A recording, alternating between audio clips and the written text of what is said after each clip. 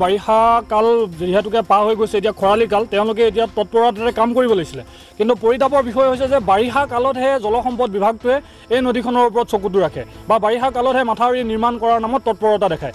যিহেতুকে এতিয়া পানী শুকাই গৈছে এতিয়া তেওঁলোকে কাম কৰিবলৈ সুবিধা আছে কিন্তু এতিয়া জলসম্পদ বিভাগটো নিন্দাত আছে।